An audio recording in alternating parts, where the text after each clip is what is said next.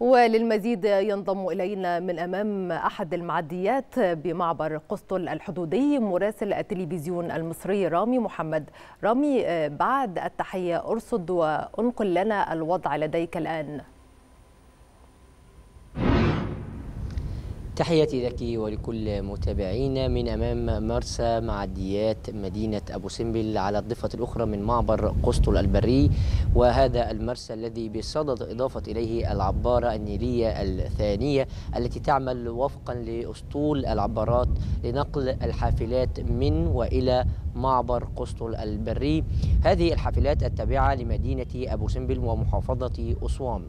أما عن المرسى الآخر مرسى حجر الشمس الآخر التابع بالعبارات التابعة للقوات المسلحة التي تعمل أيضا على نقل الحافلات ونقل الوافدين من وإلى معبر قسطل البري. ومع دخول هذه العبارة إلى أسطول العبارات لتعمل ليل نهار من المعروف أن المرسى هنا يعمل طوال النهار أو ساعات النهار فقط لكن مع دخول هذه العبارة ومع أيضا وجود المرسى الآخر تعمل ليل نهار لنقل الحافلات التي تذهب إلى الضفة الأخرى ومن ثم نقل الوافدين إلى معبر قسطل البري مع استمرار عملية إجلاء المواطنين من المصريين والسودانيين وأصحاب الجنسيات الأخرى من معبري أرقين وقسطل البريين.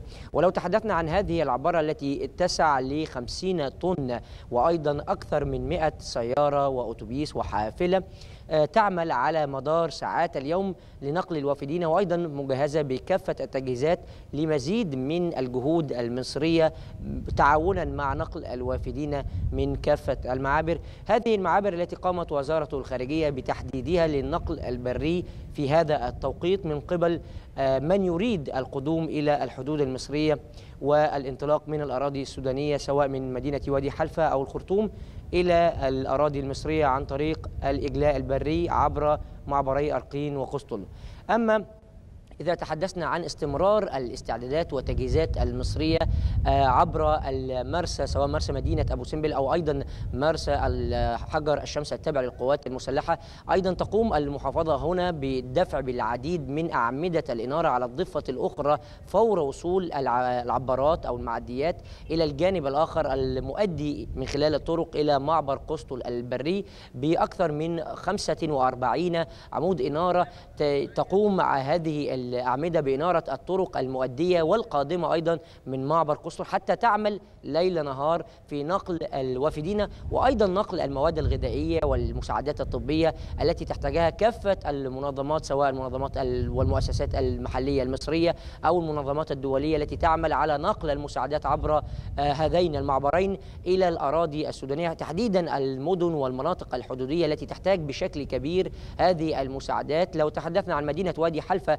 التي تبعد ما لا يقل عن 60 كيلو متر من هذا الموقع وهي تمر بأجواء صعبة خاصة بالمساعدات الطبية والمواد الغذائية.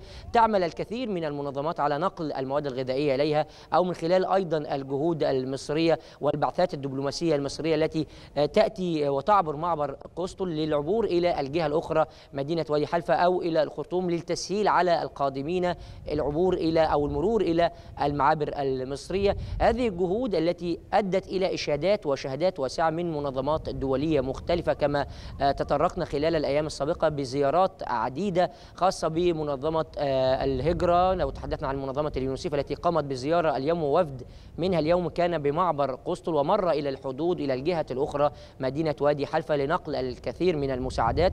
ولو تحدثنا عن أيضا مفوضية السامية لشؤون اللاجئين التي بشكل مستمر تقوم بزيارات للاطمئنان على الجهود المصرية وما يقدم للوافدين أيضا لو تحدثنا عن في هذين المعبرين قسطل وأرقين تم الدفع بالعديد من عربات الصرف الآلي الإلكتروني التابعة للبنوك المصرية لتسهيل عملية الإجراءات والمعاملات المالية داخل المعابر. لو تحدثنا أيضا عن إضافة بعدد كبير من الأطقم الإدارية لتسهيل عملية التوثيق أوراق التوثيق والتأشيرات. أيضا المساعدات الطبية والإنسانية حاضرة بقوة عن طريق وزارة الصحة بدفع بالعديد من عربات الإسعاف. نتحدث عن 25 20 سيارة إسعاف يتم الدفع بها يوميا لو تحدثنا أيضا عن الهلال الأحمر المصري بالعيادات المتنقلة مراكز الإغاثة أيضا المستشفى الميداني نعم. العديد من التجهيزات والدور المجتمعي المصري حاضر بشكل كبير في هذا الصورة. المشهد وهذه الزاوية المهمة من خلال المبادرات المجتمعية للعائلات والقبائل هنا بفتح المنازل أو بتوجيه المواد الغذائية والطبية أشكرك. للوافدين من إخوانهم سواء الأشقاء السودانيين أو مختلف الجنسيات الأخرى أشكرك رامي محمد مراسل التلفزيون المصري